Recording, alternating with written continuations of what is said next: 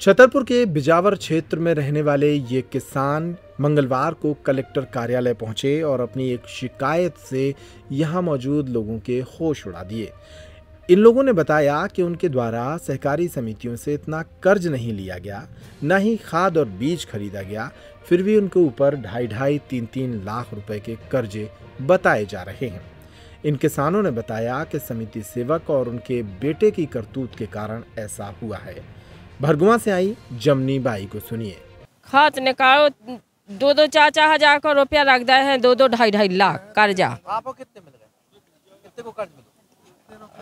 ढाई ढाई लाख ढाई ढाई लाख को कर्जा रख मिलो। किने करो ना अंदाज को लायका किसान।